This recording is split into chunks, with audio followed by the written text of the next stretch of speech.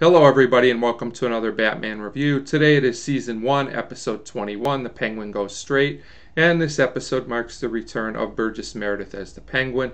And I have to say, he does a solid job like he always does in the role. This is a good episode overall. It doesn't have uh, as many memorable scenes as some episodes, and the pace is a bit slower than some episodes, but the episode moves well enough. And overall, I think it's pretty well thought out and pretty well written.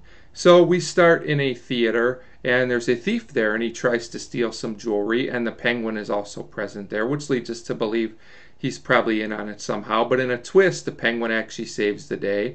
Then we get another scene where the penguin is in some kind of club for men, I believe. I wasn't really sure what that club was, but he saves the day yet again. So it seems like the penguin might be reformed. Now, of course, we as the audience are suspicious and um, so is Batman and Robin. They are very suspicious as well. They figure the Penguin is up to some kind of plot. We also find out that the Penguin is going into business with some kind of agency to protect wealthy pe- people's jewels and things like that. And there's one woman in particular, Sophia, who he's linked to. So it's pretty clear that uh, he's after her jewels at this point.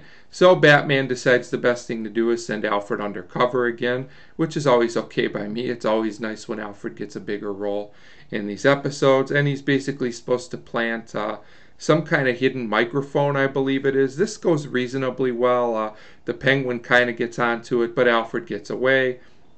And then uh, this is where the episode takes a little bit of a strange turn. Batman and Robin create some kind of fake jewels with the information that they've learned, and they decide that it's a good idea to break into the woman Sophia's apartment and actually plant uh, the fake jewels for the real ones. But of course, the penguin penguin walks in and a fight ensues, and Batman and Robin do escape. It's it's a pretty average fight, but it's relevant to the plot, so it was fine.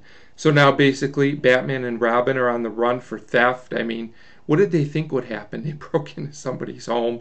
I thought this was a little strange, but you just got to go with it.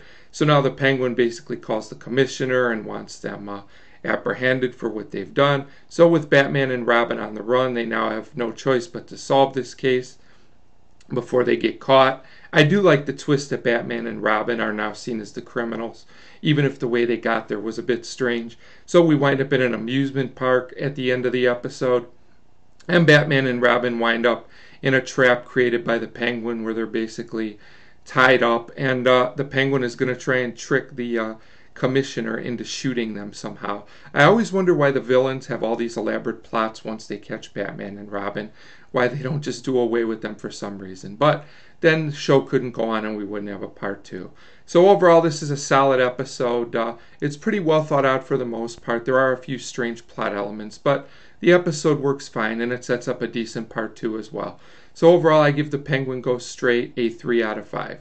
A solid episode for fans of the show that I think they'll enjoy. So a 3 out of 5 for The Penguin Goes Straight, and as always, thank you very much for watching.